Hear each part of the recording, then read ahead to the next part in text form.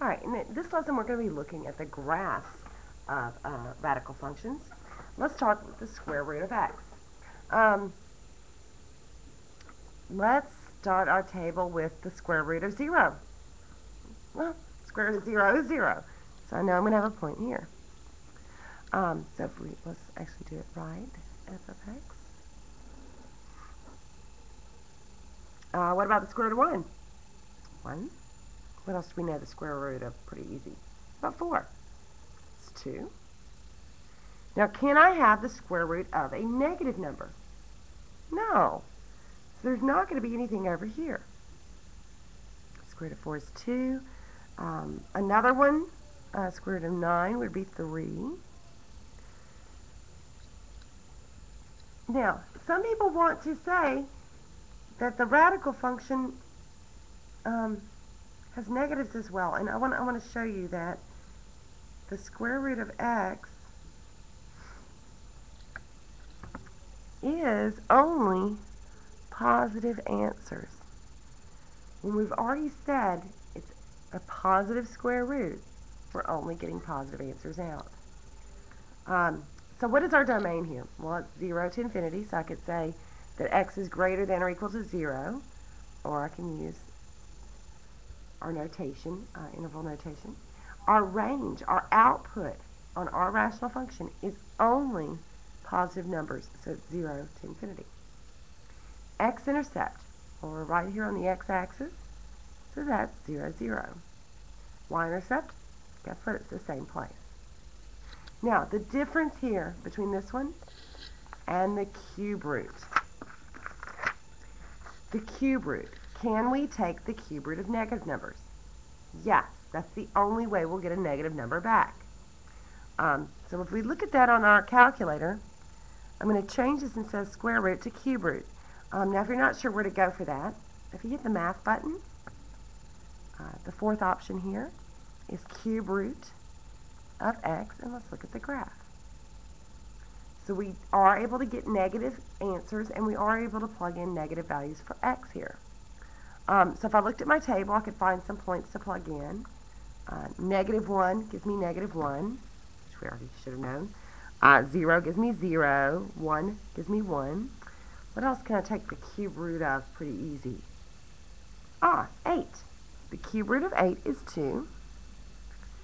Cube root of negative 8 is negative 2. So I have this nice little uh, curve. And if we turned it on the side, it kind of looks like x cubed.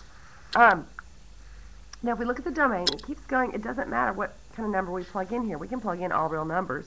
So you can do all real numbers or negative infinity to infinity. Now, also, what we get out of this can be negative or positive. It's going to be all real numbers as well.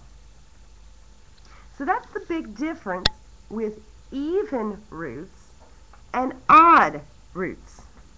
Even roots, our domain and range are only positive numbers. For odds, it's all real numbers. Now, what is alike is our parent functions. Our x-intercept is at 0, 0, and our y-intercept is also at 0, 0. So that's things we want to make sure we notice. Now, I want to talk about transformations of these graphs. What is going to happen if I take the square root function and add 3? Well, we should know that's going to move my graph up 3. Now, when it physically moves it up 3, is it going to change the domain, what I can plug in for x? No. That is still going to be 0 to infinity. Now, since it's moved it up, it is going to change the range, though.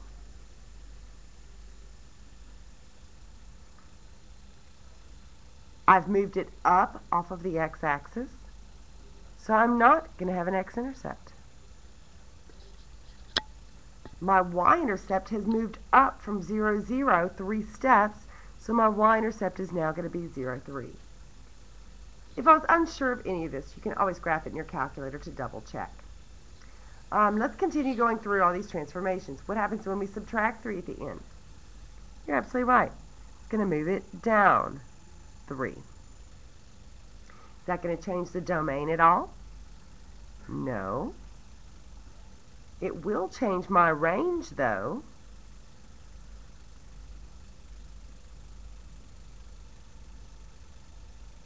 And if x-intercept, x-intercept is what's going to make y be 0. So, let's see. That would be, what would make y be 0? That would be 9. What is my y-intercept? If I plug in 0, square root of 0 is 0. So negative 3. Now, I'm, I'm kind of walking you through this, but I think you can uh, find those on your own. Cube root of x plus 2 moves it up 2. Cube root of x minus 2 would go down 2. Now, the beautiful thing about the domain and range of your cubic functions is that it's always all real numbers. Always all real numbers. So let's just continue with the translations. What happens when I subtract 4 from the x? I hope you remember that from previously. It is going to move it right 4. What happens when we add 4? Moves it left 4. Remember, what you do to the x comes out opposite from what you would think. So adding 5 to the x moves it left and subtracting moves it right. So I really want you to think about what's going to happen here. If we subtract 3 from the x, it's going to go right 3, and the plus 5 moves it up 5.